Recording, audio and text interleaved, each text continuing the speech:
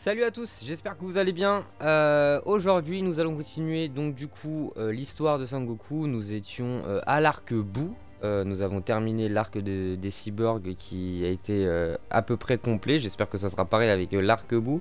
Hier, j'avais pas pu vous faire justement cette partie parce que bon bah j'ai fini ma nuit à l'hôpital avant-hier soir.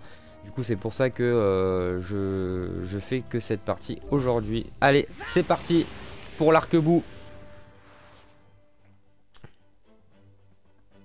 Commence déjà avec une cinématique, c'est pas mal.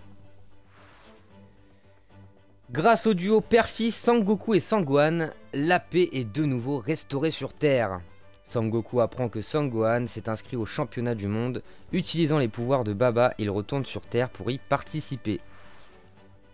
Cependant, après avoir rencontré un autre concurrent, un Kaoshin, il apprend que le terrifiant Boo est sur le point d'être ressuscité. Afin d'empêcher la résurrection euh, de Boo, Sangoku se retire du tournoi. A la place, il se lance à la poursuite du sorcier Babidi et bat ses serviteurs. Cependant, Babidi tire profit du désir de Vegeta de régler ses comptes avec Sangoku et prend possession de son côté obscur, donc Majin Vegeta. Babidi utilise ses pouvoirs pour renvoyer Goku et les autres sur l'arène du tournoi.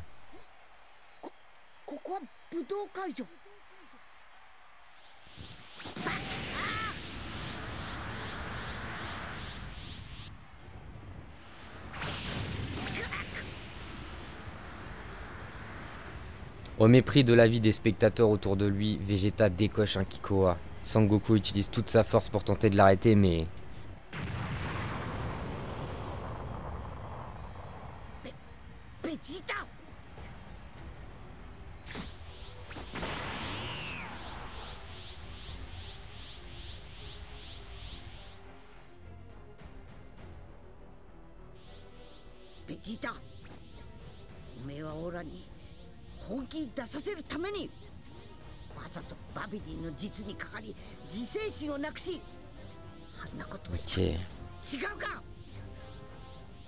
こうでもせんと貴様は俺と戦わん。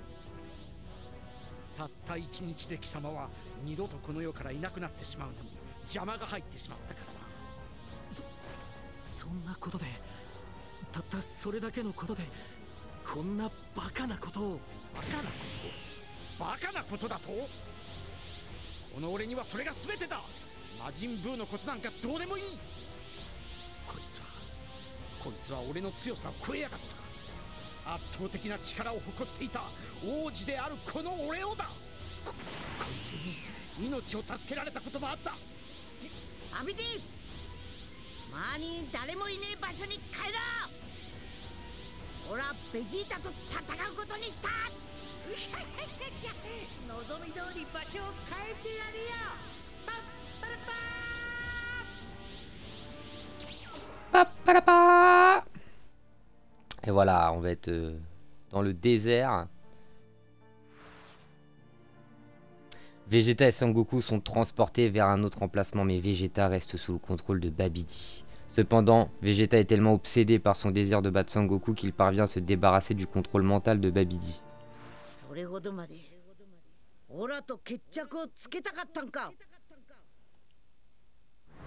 Bon, bah on va se battre contre Vegeta.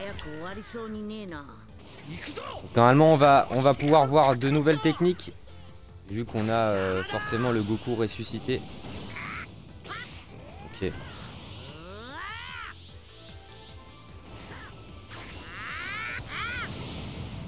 What?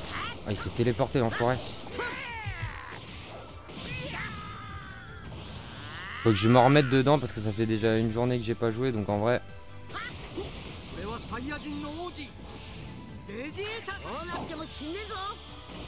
Normalement, il se le prend. Ok.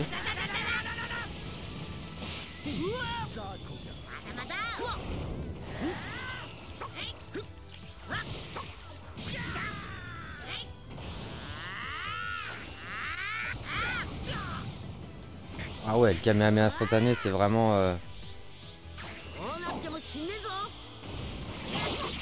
Genre en mode Kamehameha, téléportation. Bam Donc même si on a les mêmes techniques, en fait, elles changent.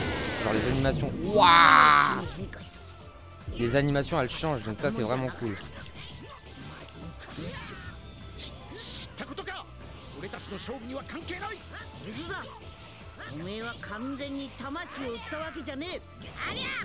Hop, petite chope.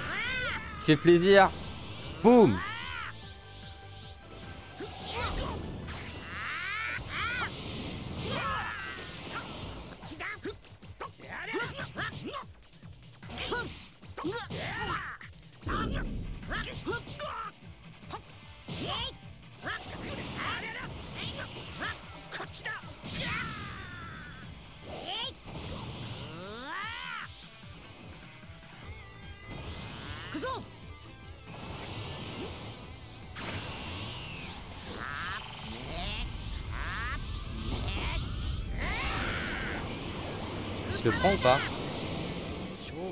Let's go, il se l'est pris.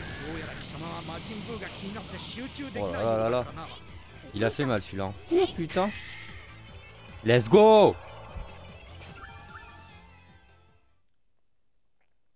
Incroyable. Beau combat contre euh, ce petit Majin Vegeta.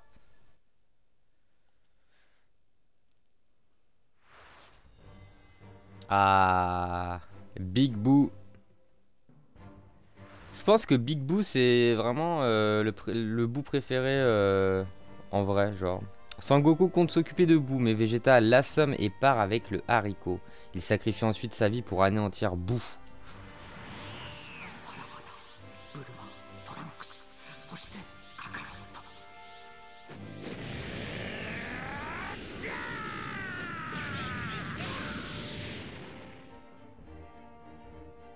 Cependant, après que Vegeta a porté le coup fatal, Boo ressuscite immédiatement et part détruire le monde avec Babidi, comme il le voulait depuis le début. Sangoku reprend conscience, ne percevant pas le ki de Sangohan, il en déduit qu'il a péri. Il doit désormais réfléchir à un plan pour vaincre Majin Buu. Il décide d'enseigner la technique de la fusion à son fils Sangoten et à celui de Vegeta Trunks. Cela leur permettra de combiner leurs forces en un guerrier absolument surpuissant. Après avoir entendu que Boo est parti détruire la ville ouest, il est décidé que Trunks ira sauver le Dragon Radar resté là-bas. Dans l'espoir de gagner un peu de temps, Sangoku interrompt Boo et entreprend de monter un monstre sa forme éveillée. De montrer au monstre sa forme éveillée, pardon.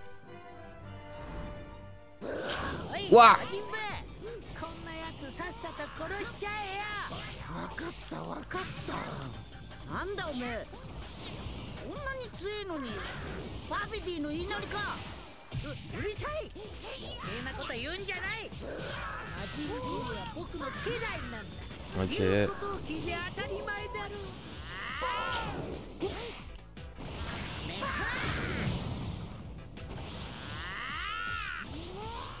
おい許さねえぞ耐えきれないうわっまた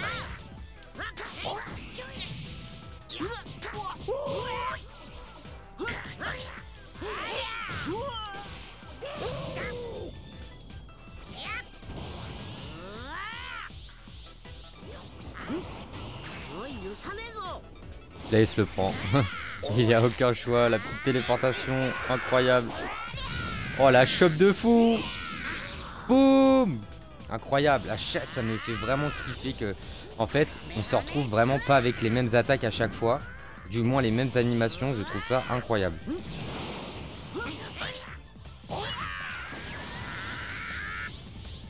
Qu'est-ce que J'ai fait. Je sais même pas ce que j'ai fait. Ok.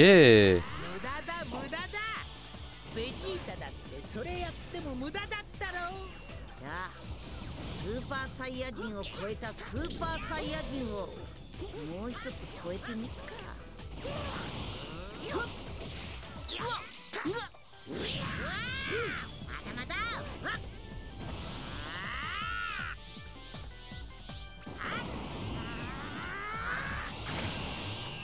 Super Kamehameha, je m'en fous. Il va la, il va la, pas l'avoir, c'était sûr. C'était sûr en vrai.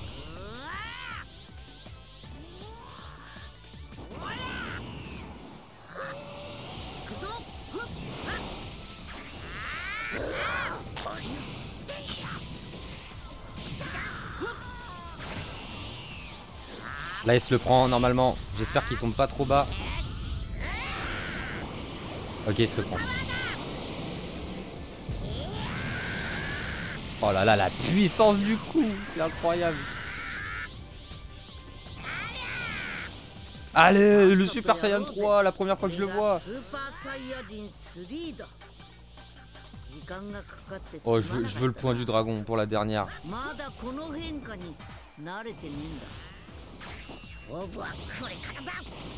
Allez, s'il te plaît.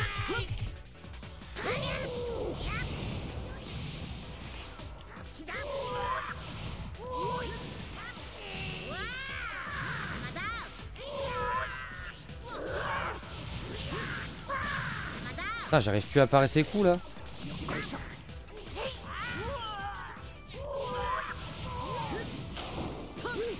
Ah, mais calme-toi mon ref par contre, hein, s'il te plaît. hein.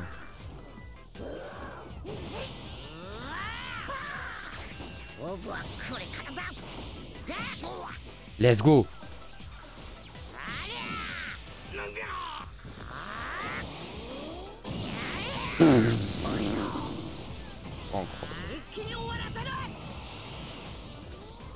Ah, c'est là le point du dragon.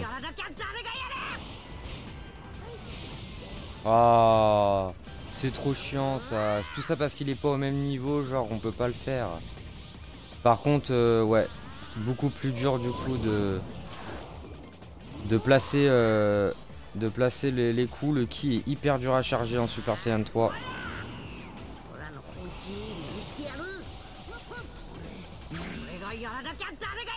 Il y a moyen que je... Ouais, let's go. Le point du dragon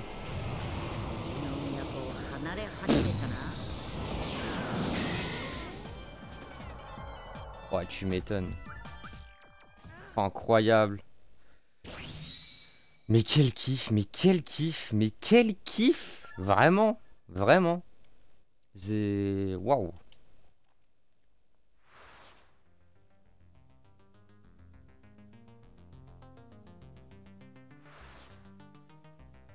Son Goku a gagné assez de temps et utilisé sa téléportation pour repartir, laissant Boo assassiner Babidi.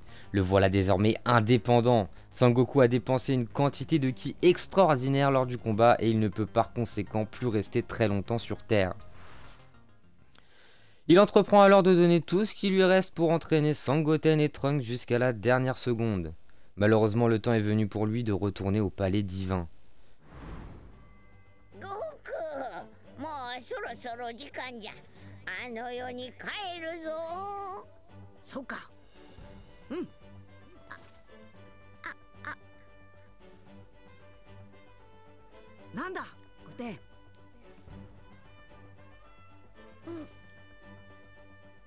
わかった。おめえ父ちゃんに抱っこしてほしいんだべ。なんだ。だったら早くやよかったんよ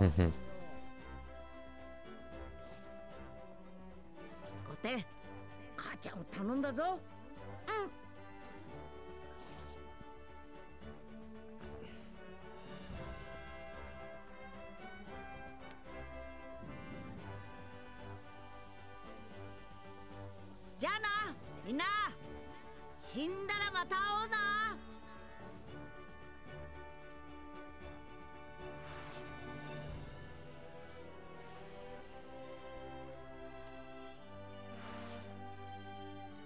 Sangoku, qui est retourné dans l'au-delà, utilise la téléportation pour retrouver Sangohan quand il sent qu'il s'entraîne dans le monde de Kaioshin. Par le plus grand des hasards, Gohan brise le sceau du vieux Kaioshin, vieux de plus de 15 générations et son potentiel lat- latent est débloqué.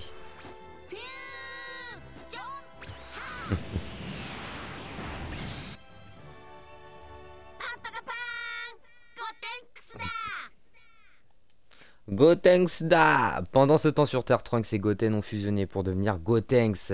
Le super guerrier donne tout ce qu'il a pour affronter Boo mais se relève finalement trop juste pour le vaincre.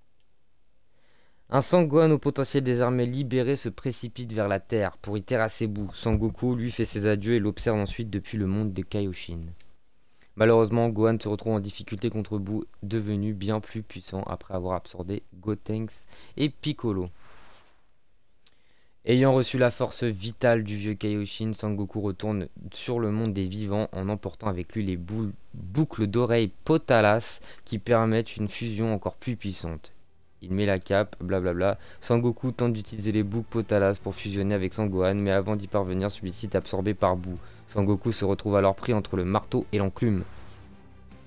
Pendant ce temps, Vegeta est ramené sur Terre par les pouvoirs de Baba, mais quand Sangoku lui demande de fusionner, Vegeta s'oppose fermement à l'idée. Étonnant. Cependant, après avoir appris que Bulma a été tué et que Trunks s'est fait absorber, Vegeta se résigne à changer d'avis. Ce qui donna l'une des meilleures fusions la plus puissante.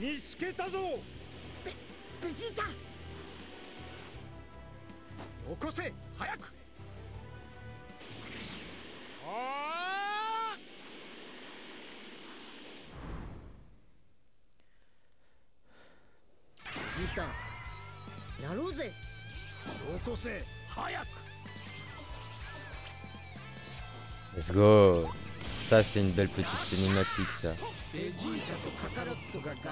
Bon par contre euh, ils ont un peu... Euh...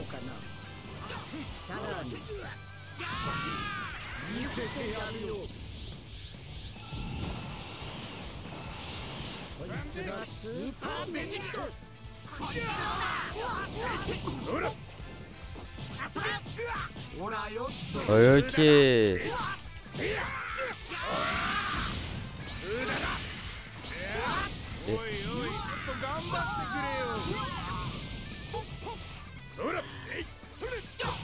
Oh, il m'a terrassé.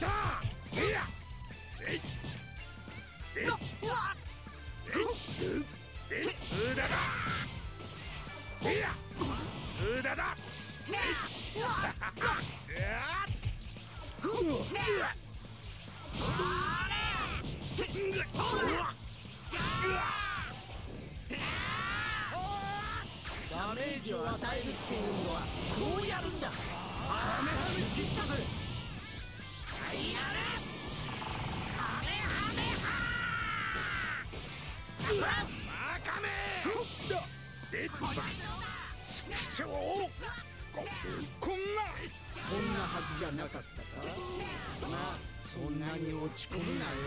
俺だって驚いているんだ。ここまで貴様をコケにできるなんて。うん？うん？もうならまま Oh putain.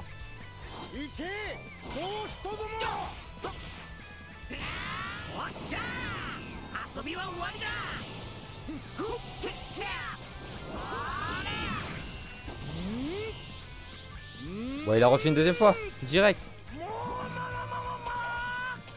Ça changera rien, mon gars. Hein. Je me la suis pas pris une première fois, je vais pas me la prendre une deuxième. Hein. Oh, je me la suis pris, putain, l'enfoiré. Ok.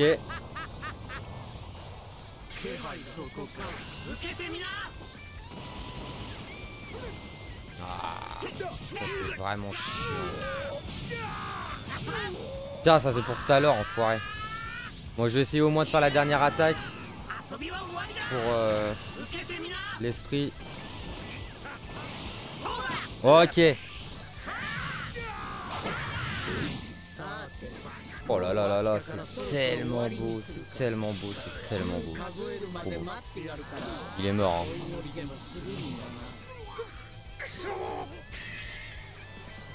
Ah oui, il est mort. Oh là là, c'était beau, c'était beau. C'est... plus j'avance dans le jeu, plus je trouve ça incroyable. Et pourtant, ça partait pas spécialement bien euh, de base. Hein.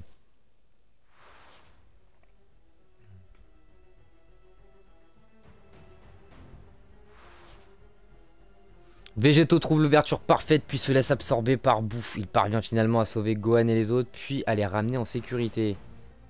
Cependant, en sauvant le bout de la forme originale sous laquelle il était apparu, le bout qui se trouve devant eux se transforme pour atteindre sa forme la plus pure, celle d'un être absolument incontrôlable. Devenu l'incarnation de la destruction absolue, il commence à dévaster la Terre. Chin aide Sangoku et ses amis à s'échapper vers son monde, mais Boo ne se laisse impressionner en rien. Il apprend la téléportation et part à leur poursuite. La bataille qui menace de détruire l'univers entier commence alors.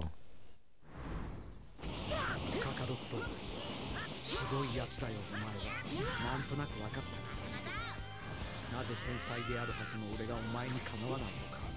守りたいものがあるからだと思っていた。守りたいという強い心は得体の知れない力を生み出しているのだ。確かにそれもあるかもしれないがそれは。Il a réussi à se téléporter alors que.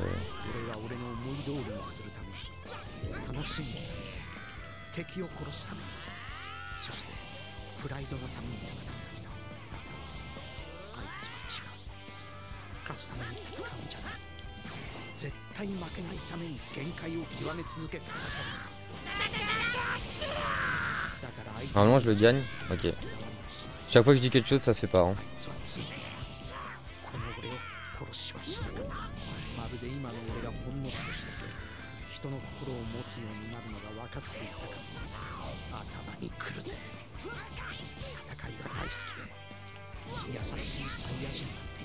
頑張れカカロット。お前がナンバーワンだ。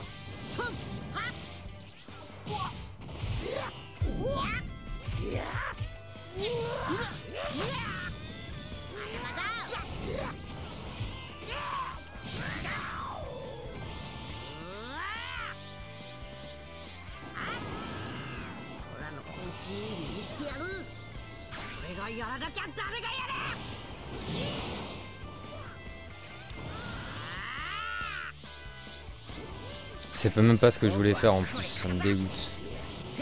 Pas vraiment, Super Saiyan 3, le ki, il est trop dur à monter, genre.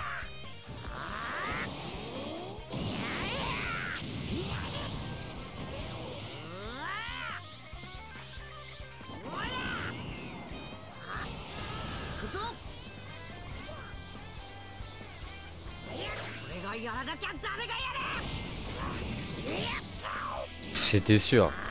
En fait, il a perdu le focus parce que je lui ai envoyé une petite boule.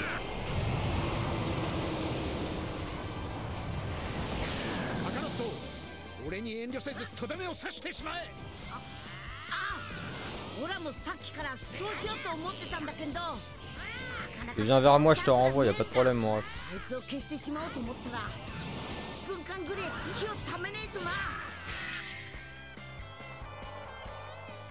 Qu'est-ce qui s'est passé? Les faces comme ça, je les comprends pas, ça coupe trop le délire. Oh. Les faces comme ça, mais c'est horrible, vraiment. hein. Je comprends même pas le délire.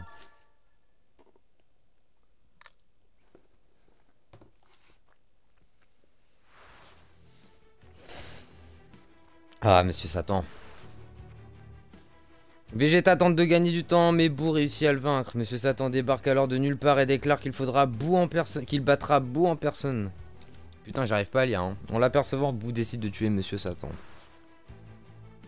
Mais le Boo d'origine se dissocie de Boo et entreprend de défendre Monsieur Satan. Malheureusement, il ne tient pas bien longtemps. Sangoku, censé rassembler tout son ki, se retrouve à bout de force et ne peut plus maintenir sa transformation à son tour. Réalisant que la situation s'est retournée contre eux, Vegeta se fend d'un sourire ironique. Il vient d'avoir une idée. 海洋神たちデンデあの玉でこの状況を見てやがるんだろうベジータ Il ordonne d'abord à Dende de rassembler les Dragon Ball de Namek, puis Vegeta entreprend alors de ressusciter la Terre et tous les gens assassinés par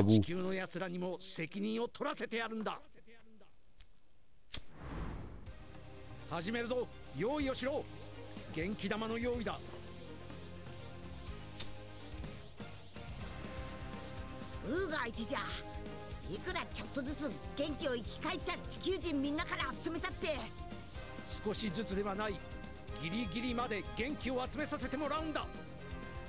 ベジータとや決め技にわしの元気玉を選んだところはナイスだぞ。さあ話せ。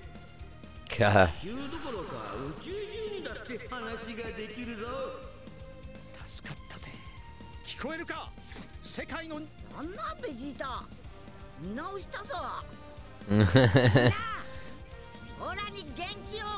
Il me tue Goku, vraiment.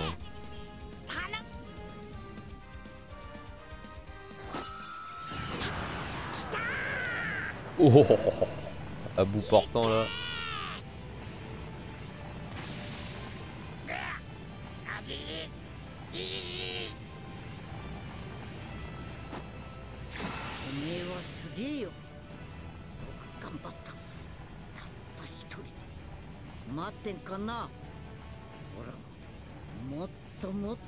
と腕上げてまたな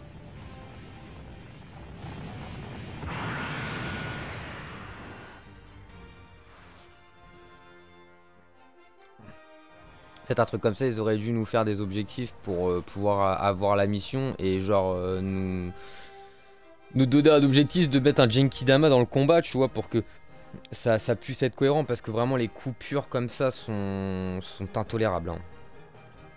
Voilà, tout le monde accueille Goku, bien, bien évidemment, y compris leur famille.